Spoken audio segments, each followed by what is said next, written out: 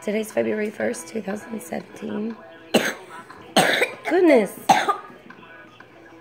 We've all been a little bit under the weather, as you can tell.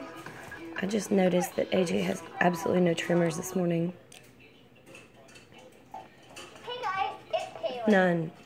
Smooth as can be. AJ, you're doing so good. This is week six of CBD oil, and I think it's really helped. I got her the Earth Girl AJ.